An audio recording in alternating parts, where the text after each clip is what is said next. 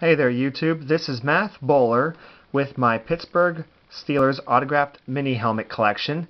These are players who are on the offensive side of the football, who have played with the team rather recently or are on the team. I'm making a separate video with my Steelers from the 70s. I'll do the same thing with the Steelers on the defensive side of the ball as well. I'll let you know how I obtained them or where I obtained these as in addition to who they are. This is alphabetical, starting with the lowest in the alphabet, Charlie Batch, with the two-time Super Bowl champs inscription. I personally obtained this autograph from Charlie Batch when he made an appearance at the Pittsburgh Auto Show. And I can think of two other times he's been there. He's been really good about being out in the public.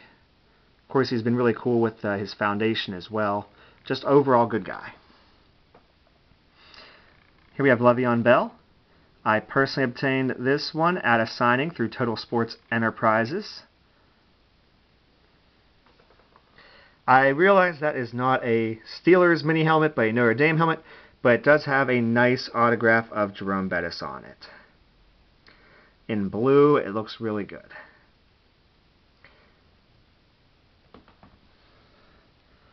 Another Jerome Bettis mini helmet. I was a little concerned with this one because it was an older signature. I trusted the person I bought it off of, but I still sent it off to get JSA authenticated, which it came back authentic. So that's good.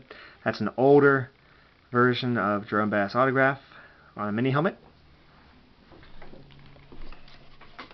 Here we have Chris Boswell. I personally obtained this one at a signing at Beaver County Auto.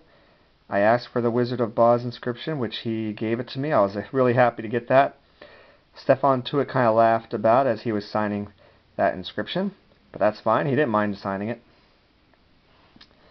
Antonio Brown, I purchased this one through Steeltown Memorabilia quite a few years ago, actually. Move on around here. We got some more to show you.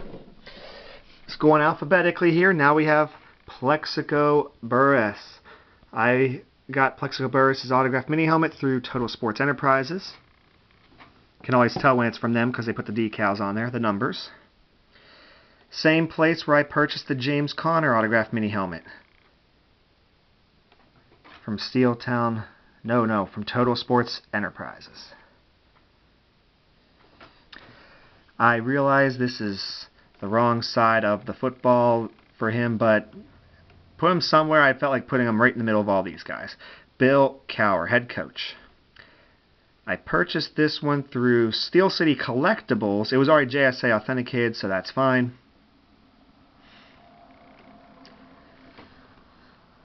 Santonio Holmes on a Super Bowl 43 mini helmet. I purchased this one through Steeltown Memorabilia problem with these types of mini helmets, these decals, they have looked like this for years. They're not getting any worse.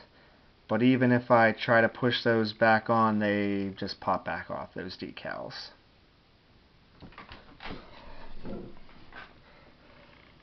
Here we have Jesse James. I personally obtained this one as signing through First and Goal Collectibles.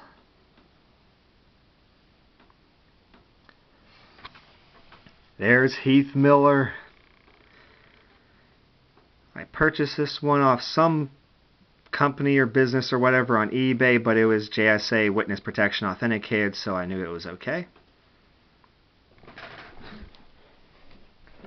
Got five more mini helmets. First off, we have Fast Willie Parker. I purchased this one through Steeltown Memorabilia.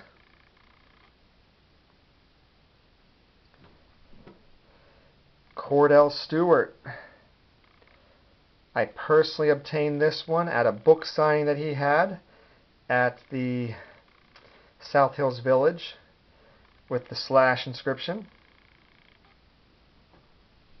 There he is, Big Ben Roethlisberger with the Big Ben inscription. I purchased this one through Steeltown Memorabilia a number of years ago.